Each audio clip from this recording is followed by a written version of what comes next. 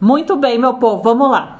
Hoje eu não vou compartilhar a tela com vocês, eu só vou colocar, é, vou passar o conteúdo, mas eu separei seis passos para vocês irem anotando aí para não errar na próxima compra. Comprar certo é o primeiro passo para você ser elegante, porque se você compra errado, você dificulta muito. Você dificulta muito depois no seu dia a dia para fazer as escolhas. Então, comprar certo é o primeiro passo. E como é que você faz para comprar certo? Certo, vamos para o item 1, para o primeiro passo, dentro dos passos para comprar certo. Primeira coisa, meu povo, mulheres do meu coração, é conhecer o seu estilo e saber o estilo que o ambiente que você passa a maior parte do tempo exige. O que, que é isso?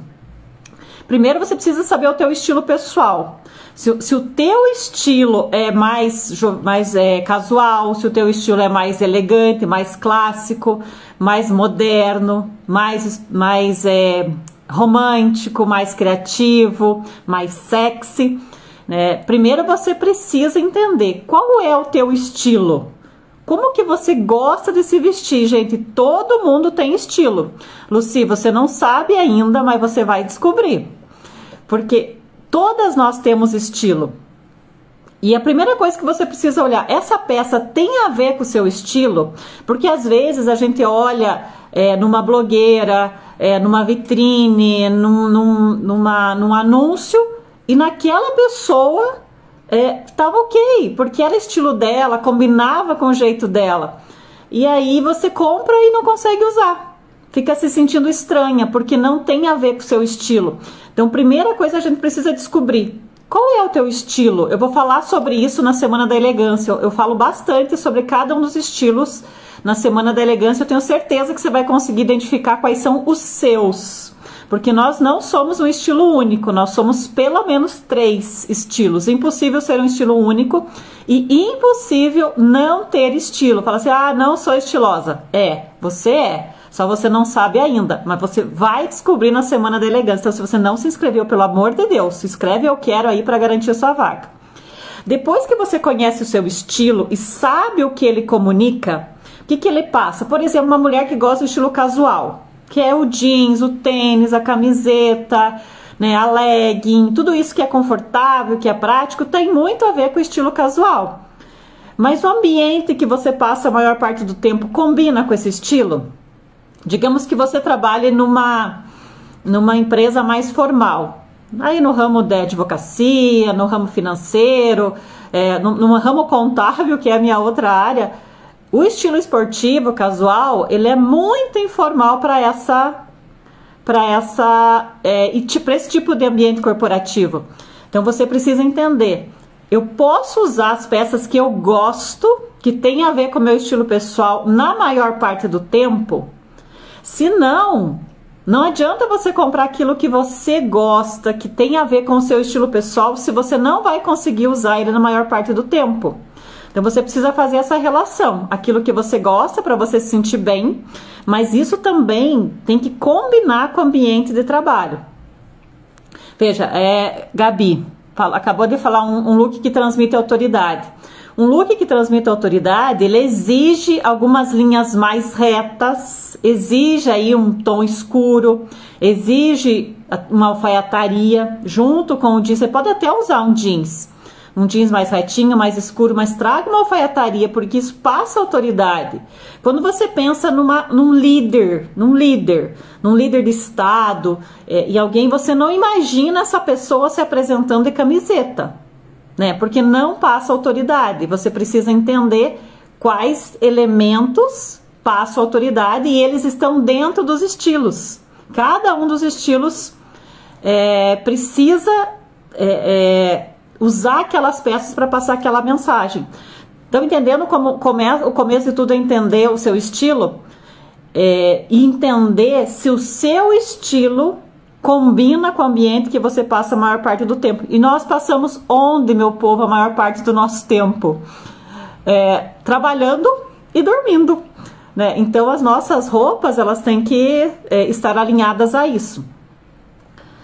É, faço é, estou em escola. Como ser elegante? É, gente, eu já vou, eu tô olhando para as perguntas de vocês e, e, e, parando aqui o conteúdo. No final eu vou responder algumas perguntas, tá? Deixa eu só passar os seis passos para vocês anotarem, depois no final eu, eu respondo perguntas. É, ainda falando do estilo, imagina que você é do estilo sensual. E é um estilo que eu recomendo que você traga para misturar junto com você. É, meu querido Jason, eu estou fazendo a live no meu outro celular que não fixa mensagem. Então eu vou colocando assim de tempos em tempos para ela aparecer aqui. É, e eu tô, eu tô falando com esse povo aí que eles precisam vir para a Semana da Elegância porque o conteúdo de fato mais profundo tá lá, que é só uma amostra, só um aquecimento. Falando do estilo sexy, aquela mulher que gosta de mostrar o corpo, que gosta ali de algo bem coladinho, gosta de né, de um decote, gosta de uma transparência.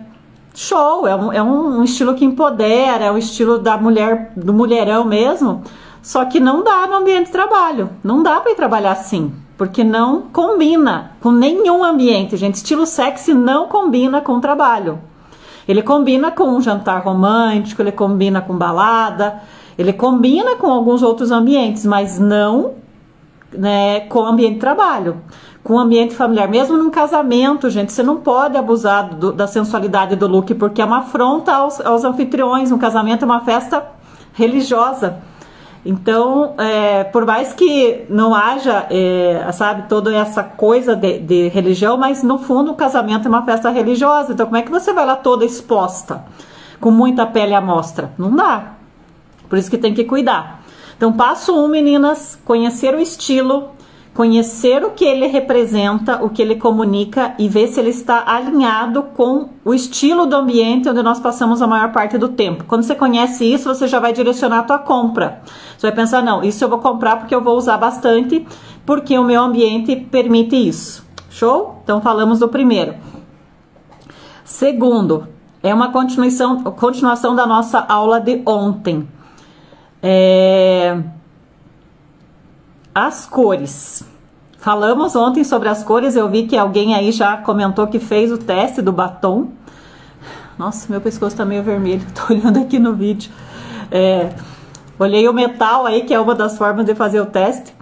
É, as cores também precisam ser pensadas na hora de você comprar, na hora de você decidir o que vai comprar. Por que, que você tem que pensar nas cores? Quando você entende das cores, você dificilmente vai comprar uma cor que não tem a ver com você. Normalmente nós escolhemos as cores ou nós gostamos das cores que tem a ver com a nossa coloração pessoal. O problema é que às vezes a gente olha a blogueira, a gente olha a, o anúncio, a gente olha a imagem no Pinterest, a gente olha algumas pessoas, nossa, ela ficou tão bem com essa cor. Eu não tenho nada dessa cor. Aí você vai lá e compra uma peça com aquela cor que você não tinha nada, e se você não tinha nada é porque você nem gostava. E aí, o que, que vai acontecer? Você vai vestir e falar, nossa, me sinto estranha, não sei o que acontece, eu não consigo usar. E é isso. Por isso que você tem que entender de cores. E se você fez o teste ontem, e você se identificou mais com os metais dourados e com batom laranja, o seu subtom pode ser quente. E aí, quando você for comprar, é, quando você for comprar uma peça, olhe com mais carinho para os tons que tem o fundo amarelado. Os laranjas, os terrosos, os vermelhos, e os tons que tem uma pitada ali de amarelo na sua composição. Que quando você respeita isso, você vai conseguir usar a cor, você vai conseguir se sentir à vontade com a cor. Fala aí se alguém é, compartilha aí. Se já aconteceu, isso que eu acabei de falar. Comprou uma peça porque achou bonita na outra pessoa, nem era uma cor tão interessante para você e você não conseguiu usar. Comenta aí se já aconteceu. Eu, eu, a maioria das pessoas que já vieram fazer consultoria comigo já viveram essa experiência porque não respeitaram esse passo na hora das compras. Gente, tá gravada a live de ontem. Todas as lives da semana estão no, no feed. Pode procurar lá depois que acabar aqui. Se você é, se identificou com esse, com esse metal e com esse batom, então tente escolher e tente olhar lá no seu guarda-roupa se a maioria das suas peças já não tem essa coloração. Se você não tende a escolher peças nesse sentido de que tem cor mais quente, mais amarelo na composição. E quando você faz o teste de coloração e harmoniza mais com o subtom quente, ou com o dourado, ou com o laranja, você pode ser um outono dentro da coloração pessoal ou uma primavera. Quem é outono? Fiz o teste dos batons e parece que fica os dois. É, ah, não entendi, Karim. é, a coloração pessoal ela exige um pouco de treino no olhar. Tem que, tem que ficar olhando e vendo os detalhes que você vai conseguir identificar.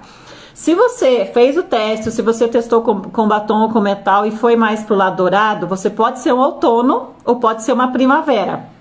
Os outonos normalmente têm profundidade na sua coloração pessoal. Vocês estão vendo aqui o meu look? Que eu tô de preto. E olha, olha como preto é demais para mim. Eu não sou outono e eu não sou inverno. Olha como cria uma linha aqui, uma cabeça e um corpo. Porque eu sou verão. A minha, a minha paleta é fria e clara. Então, cria um contraste, pesa, pesa no look. Se você é, é tom quente, você vai ficar bonita com tons quentes. Se você, é, na, no seu teste, é, for considerado um outono, você vai ficar bem com preto, porque você tem profundidade natural nas suas cores. Mas aí já é um, um outro teste, não é esse que eu passei para vocês. Eu falo mais sobre ele, deixa eu ver se eu falo.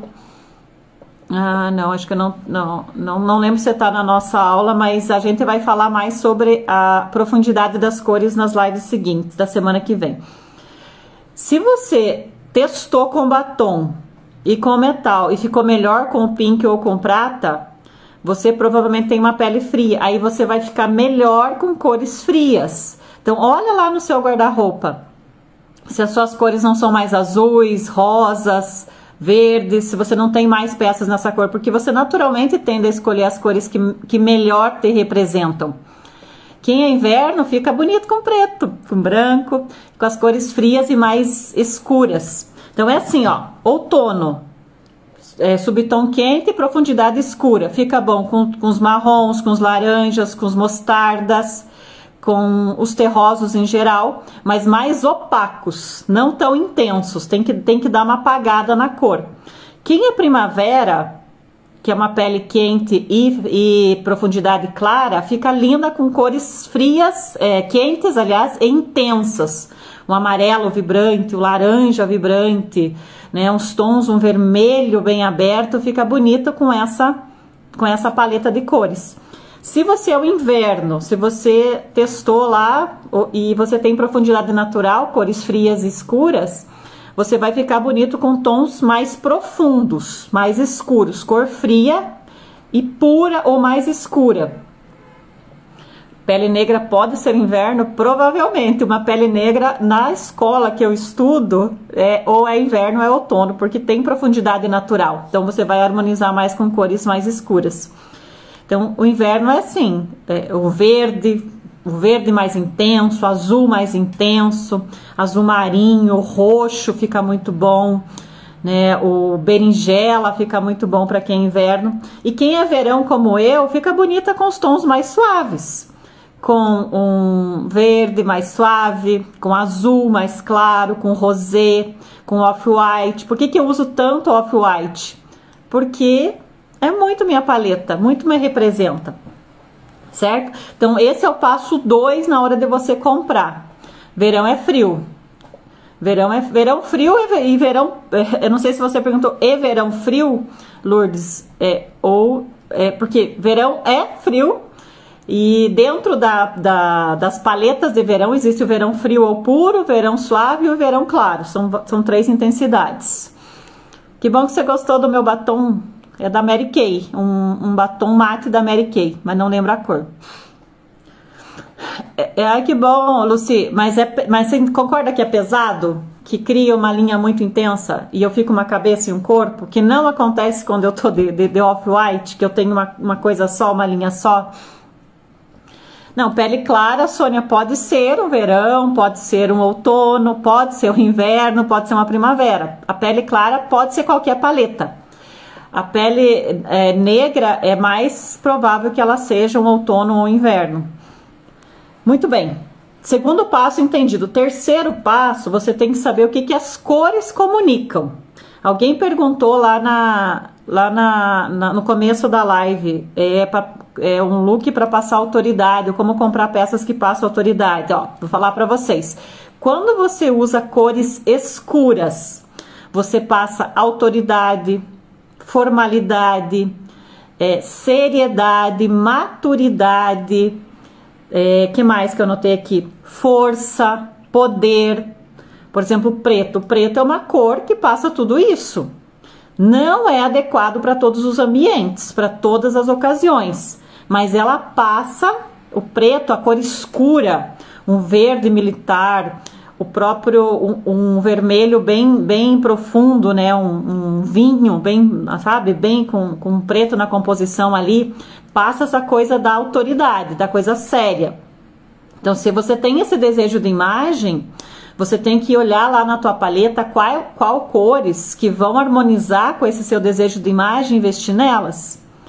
Já se você é, quer passar acessibilidade, proximidade, informalidade, que mais que eu notei aqui? Casualidade, descontração. É, esse tipo de sentimento, esse tipo de emoção é com cores claras. Gabi, como, como considerar autoridade com acolhimento? É você misturar, ou você escolhe a cor que passa autoridade e o corte que passa acolhimento, ou vice-versa. Por exemplo, você usa uma peça preta mas ao invés dela ser de corte reto, com linhas retas, você usa um evasê, um tecido mais fluido, que tem movimento e faz linhas mais circulares. Tudo que é circular, é, ele aproxima. Por isso que um cabelo cacheado, ondulado, ele aproxima mais que um cabelo reto, chapado. Tudo que é reto é mais sério, mais duro, mais rígido, mais distante. Tudo que é circular e mais claro, mais próximo, mais acessível, mais aproxima. Então imagine, você vai fechar com cliente, você quer fechar com cliente, você vai lá de to toda de preto, com blazer bem estruturado, bem reto, uma alfaiataria toda reta, teu cabelo escovado, e se ele for preto ainda, bem, bem reto, você distancia essa pessoa, porque ela não se sente acolhida, isso é inconsciente. É inconsciente esse, esse é, é, essa emoção que você desperta. Então, por isso você tem que entender o que, que você quer causar. Você quer aproximar ou você quer passar autoridade? De repente você vai comandar uma reunião de negócios, aí você precisa usar o escuro e mais reto, porque você precisa ser a pessoa mais imponente daquele ambiente, porque você está comandando aquela situação. Se você lidera uma equipe e você precisa passar isso, imagine, é, você é uma mulher, com certeza você está aqui, e você lidera um ambiente que a maioria são homens. Se você não colocar essa estratégia de passar autoridade pela cor e pelo corte da peça, vai ser mais difícil. Se você vai lá toda fofinha, toda mulherzinha, com todo respeito, você vai ter que ter, fazer muito mais esforço para passar a autoridade que você precisa. Tá? Então, olha como é importante você conhecer as cores. É, quando você usa cores frias e quentes, olha a diferença. Frias passa tranquilidade, equilíbrio, é, sofisticação, é, conforto, passa introspecção, refinamento, uma coisa uh, que baixa energia, baixa energia. A cor quente é o contrário, cores quentes, é, que tem amarelo. O amarelo ele Ó, o que, que é o amarelo no sinal de trânsito? Atenção, fique alerta. Então, as cores quentes, elas trazem essa sensação. Você fica mais em ação, mais agitado, mais é, tem a questão da, da proximidade, do acolhimento, é, da, da, diversão quando você usa uma cor quente. É, é Aí eu fico lendo os, os comentários, eu já, eu já sigo aqui. Estou em licença maternidade, hum, como devo no primeiro dia de aula para passar autoridade. Marina, é, é que, aquilo que eu falei. É, é, você tem que usar muito as linhas. As linhas, as formas, ela é o que mais empodera, mais do que cor. Linhas retas. É, corte reto. Corte que fique bem, bem estruturado e reto. Isso passa muita autoridade. Quando você alia isso com cor, é, aí você consegue esse, esse efeito, certo? É, então, ó, quero fazer um, um, uma comparação para vocês entre cores frias e quentes para vocês entenderem esse efeito nas emoções. Quando você imagina lá, lembre de uma situação ou você esteve no hospital, você foi visitar alguém no hospital, como que são as cores lá dentro? Como é que são as cores dos enfermeiros e das enfermeiras? Não é amarelo, não é laranja, não é um verde intenso. É um verde, é um verde suave, é um azul bem clarinho. É, se for amarelo, é um amarelo pastel, quase um off-white. Não tem nada intenso, porque aquele ambiente precisa causar nas pessoas calma. Não precisa de agitação, não precisa de energia. Por isso que são essas cores usadas lá. Não é gosto do hospital, não é gosto do enfermeiro, é por questão de despertar emoção. Já quando você pensa numa escola de educação infantil, você já chega na escola, cada, cada parede é de uma cor, já tem uma composição de cores intensas, cores quentes, por quê? Porque a criança tem que estar tá com energia, não vai ficar toda sonolenta, deitada na, na carteira, porque isso não, não é favorável ao aprendizado, não contribui para o aprendizado, precisa dar atenção para conseguir aprender. Então, tudo isso é pensado. Toda vez que você usa cores, você tem causa uma emoção no outro sem, sem sequer saber. E a mesma coisa com cores intensas e suaves. Então imagina que você tem, tem clareza da tua paleta e você sabe que você é uma paleta né, inverno ou verão. Ou seja, a cor quente não fica bem em você e você nem investe tanto nessas cores.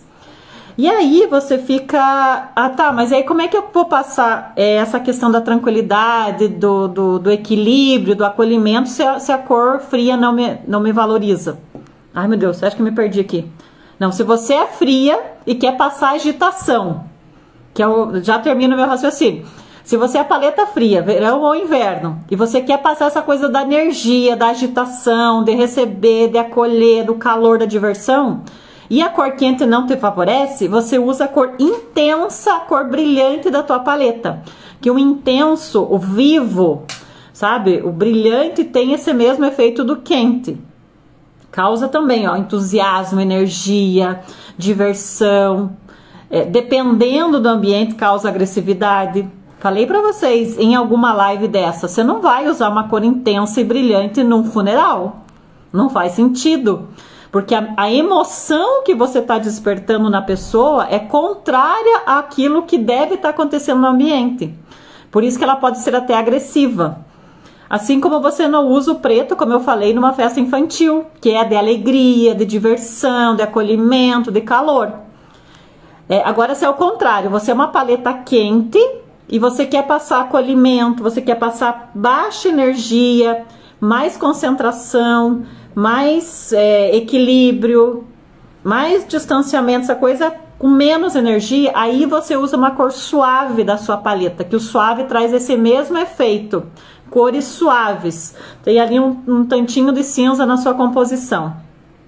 Então, quando você conhece as cores e sabe o efeito que elas causam nas pessoas, você consegue usar isso como uma estratégia.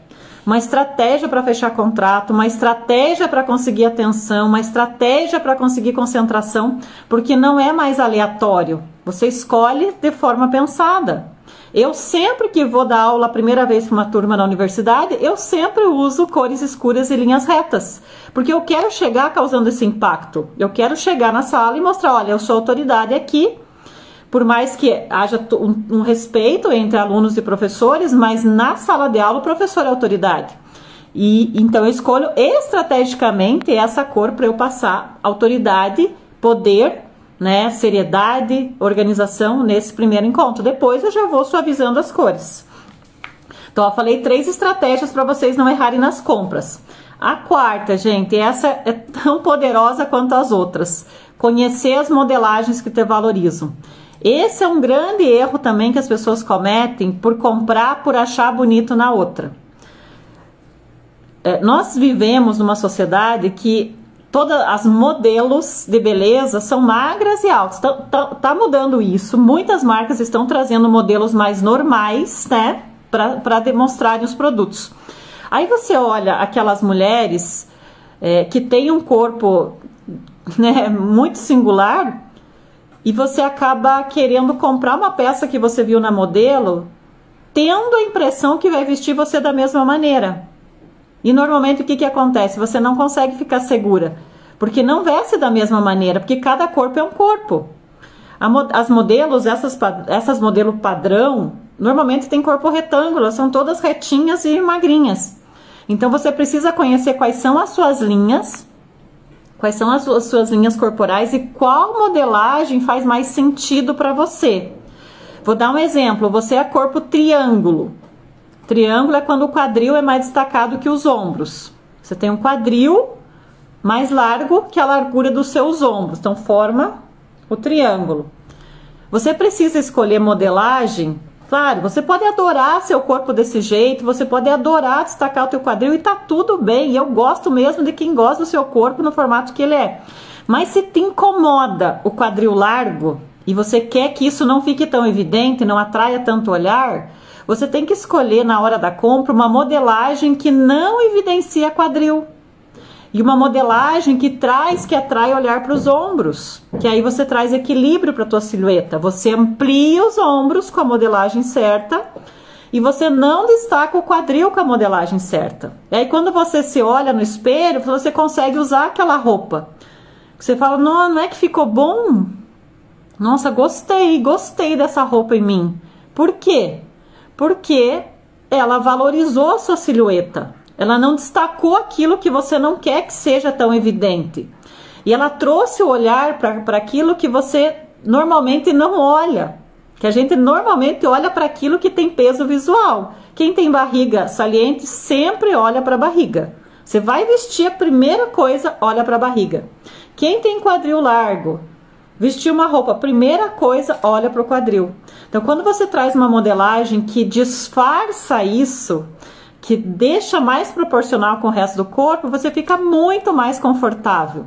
Muito mais confortável porque você vai gostar do resultado.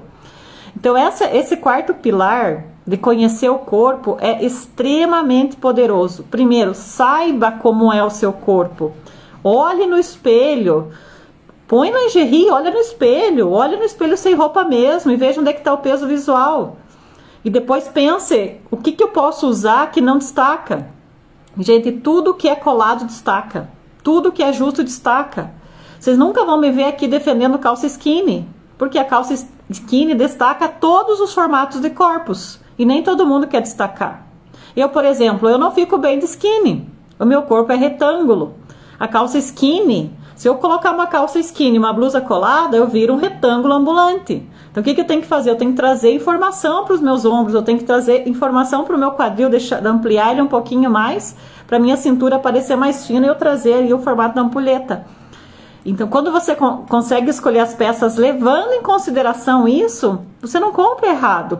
Você já pensou no seu estilo, você já pensou nas cores, tanto na mensagem que você quer passar quanto na, na no bem que elas fazem para tua pele. E meninas, olha, sério, eu já vi pessoas assim, tipo, pintar o cabelo com a cor errada. Eu mesma, quem me acompanhou os meus stories um tempo atrás, envelhece uns 10 anos. A pessoa que usa a cor errada ou é, pinta o cabelo da cor errada, usa a base na cor errada, envelhece muito. A cor errada destaca as imperfeições, é como se fosse uma reação do organismo. Não quero essa cor, então vou destacar tudo que você não gosta: olheira, marca de expressão, mancha, tudo que você não gosta, destaca com a cor errada. Então, quando você já conhece isso, você conhece o estilo, você conhece as cores e você conhece o teu corpo, toda a sua compra vai ser estratégica. Você vai olhar para a peça e vai pensar: tá no meu estilo? Tá na minha cor? E valoriza o meu corpo. Você não vai comprar só porque você achou bonita na outra. Você não vai comprar só porque tá na moda. Ah, estão usando, então vou comprar. Ah, tá todo mundo usando essa peça. Mas se ela não tiver, não fizer sentido, você não vai conseguir usar. Concordam comigo? Porque Tem muitas pessoas com roupa com etiqueta no guarda-roupa por essa razão, porque não levaram em consideração esses elementos. E falando em guarda-roupa, vou para o quinto pilar aqui, que é o próprio guarda-roupa. Olhe para o seu guarda-roupa antes de comprar. Gente, nas minhas consultorias individuais, quando eu vou fazer a parte do closet cleaning, que eu visito o closet, que eu visito o guarda-roupa das minhas clientes, às vezes tem 20, 30 calça jeans, todas que eu falo, qual a diferença dessas calças? Eu não vejo diferença. Então, qual o sentido de você gastar o teu dinheiro comprando um monte de coisa igual?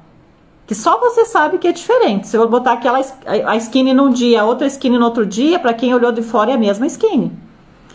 Então, investir em peças que você já tem, comprar muito do mesmo, e, e, isso acaba acontecendo porque você não faz essas análises, aí você acaba comprando algo que você já gostou no outro dia. E você compra mais do mesmo. Pensa aí quantas peças você tem, quantas calças jeans muito parecidas você tem. Quantas leggings muito parecidas você tem? Quantas blusas, quem gosta de preto aí? Quantas blusas preta você tem que são muito parecidas? Então, é, é comprar errado. Você precisa olhar para o seu guarda-roupa ver a composição dele, se ele está composto daquela forma lá do item 1, com mais peças, com roupas do ambiente que você passa mais tempo. E na hora que você for comprar, olhe se você já não tem algo muito parecido. Compre algo que você não tem.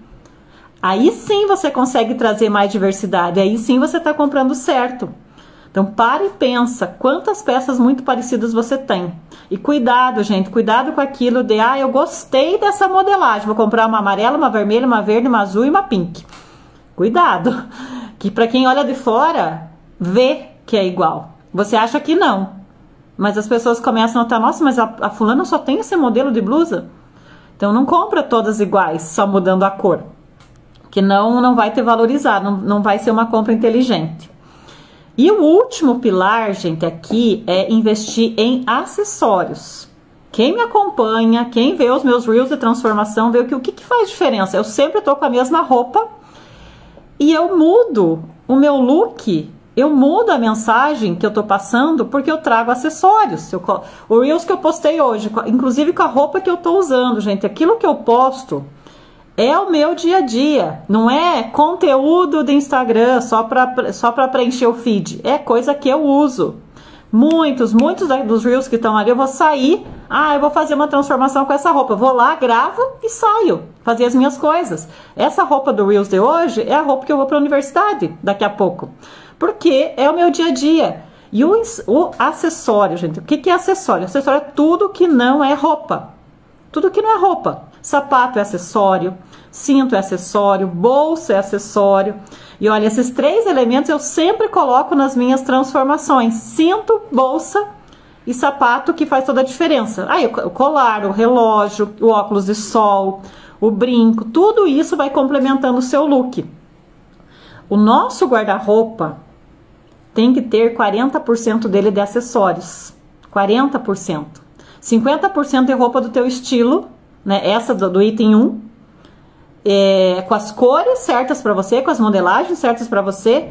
É, esse, as roupas são 50% do seu armário, metade. 40% é acessório.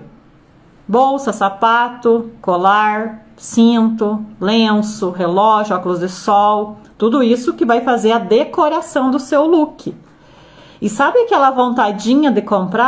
Ah, vou comprar essa peça porque tá na moda, nem vai durar, nem é tão boa, mas eu achei bonitinha e tal. 10% do seu closet você pode investir nisso para que às vezes é só emocional, né? Às vezes você quer comprar só para preencher ali um vazio emocional. Mas não fique gastando todo o seu recurso, todo o espaço do seu guarda-roupa com fast fashion, com essa modinha rápida que vai acontecer aquilo. Você vai abrir o guarda-roupa, precisa trabalhar, precisa tem algo importante aquele dia, fala, meu Deus, o que, que eu vou vestir? Nada combina, nada, nada me ajuda nesse guarda-roupa, porque você comprou errado. Então, meninas, com essas seis dicas, não tem como você comprar errado. Não tem. É tudo que você precisa saber. Beleza? Agora eu vou responder algumas perguntas, gente. Eu não tenho muito tempo. É, daqui a pouquinho eu tenho que estar lá na sala de aula para cinco horas aulas hoje na universidade, mas eu vou responder algumas perguntas. Deixa eu ver aqui. Ai. Eu gosto de comprar uma de cada cor colorida. Ah, Josineide. É, Josineide, pensa bem, é melhor você comp compra uma de uma cor e compra um outro modelo de outra cor. Né, para não ter peças iguais, porque as peças iguais elas não, não são multiplicáveis. Compro blusa que gosto com cores diferentes. Todas iguais, Lígia? Gostaria de um checklist do que não pode faltar no nosso guarda-roupa. Olha, essa é uma, uma informação de ouro. Vou pensar nisso, Ju. Vou pensar nisso. Peças essenciais. E adivinha quando eu vou falar, adivinha quando eu vou falar sobre isso? Adivinhe qual é o tema da nossa live da manhã? Exatamente isso peças essenciais, o que, que não pode faltar no seu guarda-roupa. Então, espero vocês amanhã para a gente falar sobre isso. Ju, você precisa estar nessa live da manhã. É, qual a cor e estilo de bolsas para ser básico? É, Beatriz, na verdade, a bolsa sozinha ela não faz um estilo básico. A bolsa ela, ela acaba ou deixando um look muito formal, menos formal, que é quando você usa a bolsa mais molinha mas assim, desestruturada, ela, é, ela deixa menos formal um look que tá todo formal, quando você quer dar essa quebrada. Uma bolsa mais durinha, mais retinha, ela é mais formal. E aí ela traz o seu look talvez menos formal, tipo, você tá de jeans e camisa e um tênis. Bota uma bolsa estruturada que você já eleva, já, já fica mais formal. É, mas o, a cor, a cor, você pode estar tá básica com uma bolsa preta. Você tá, pode estar tá básica com uma bolsa colorida, mas vai depender desses outros elementos, se ela é mais molinha, mais durinha, se ela é maior ou menor, se tem mais ou menos informação. É, então é mais relacionado à mensagem que você quer passar. Beleza? Muito necessária essa live. Falar nisso, vamos fazer o print? Tô gostando disso, gente. Tô me sentindo muito blogueira com essa coisa de print. Vou fazer pose aqui, ó.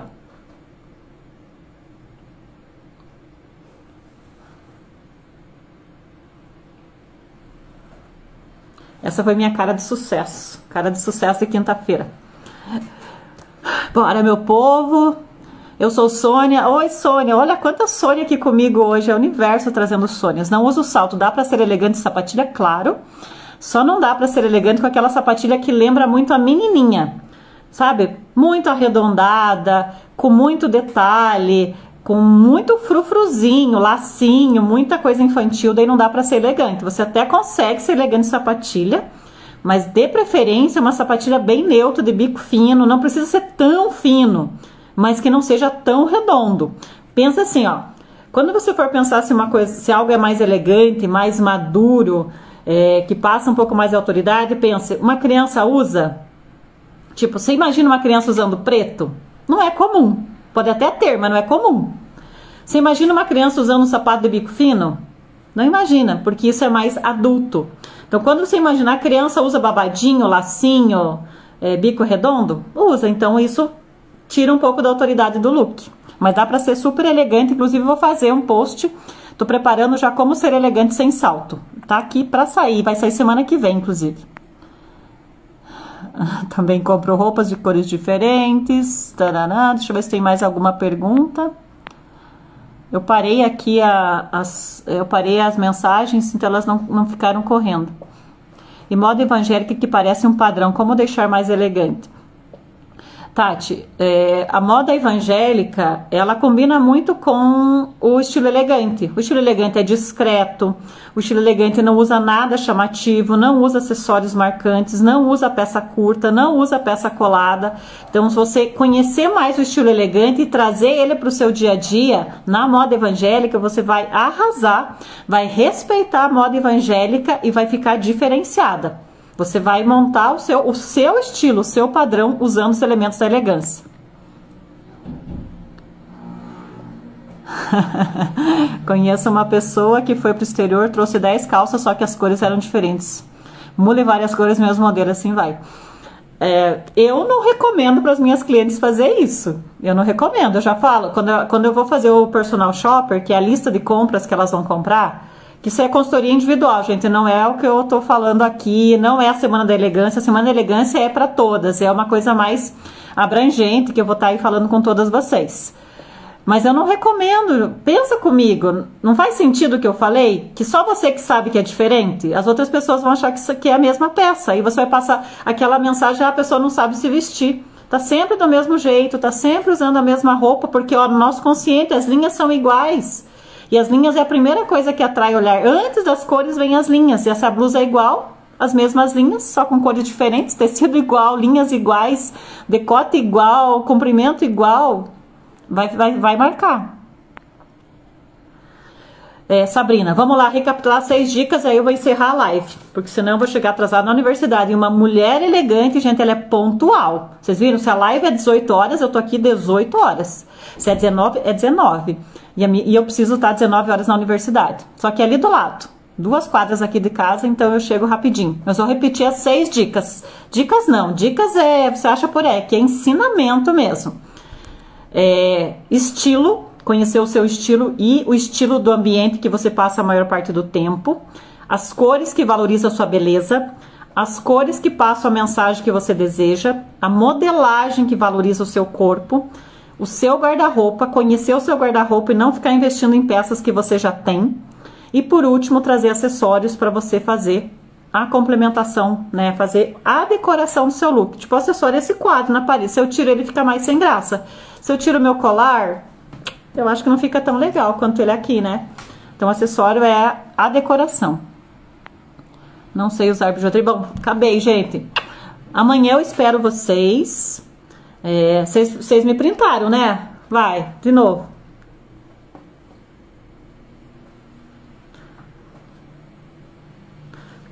Fazer uma live sobre poses elegantes para fotos, sobre o carão. O que, você faz com a mão? Como é que você bota? Como é que você olha, né? Vocês vêm, vocês me assistir para essa live, né? Sobre poses elegantes para fotos. É, então printaram, me, me compartilha lá, gente, que eu tô adorando isso e coloca a hashtag elegância para todas. E amanhã, 19 horas, com o tema que não pode faltar no seu guarda-roupa para você ser uma mulher elegante. Muito bem, beijo no coração. Muito obrigada por vocês estarem aqui às 18 horas, é, em função aí da, da minha agenda. E amanhã eu espero vocês. E não esquece, eu quero aqui ou qualquer post meu lá no feed, pode escrever eu quero que você vai garantir a sua vaga na Semana da Elegância que começa no dia 27, tá? Imperdível, gente, online gratuito. Você não vai perder, né? Porque aí não tem desculpa, ah, quero ser mais elegante, mas então venha, venha pra semana. Beijo.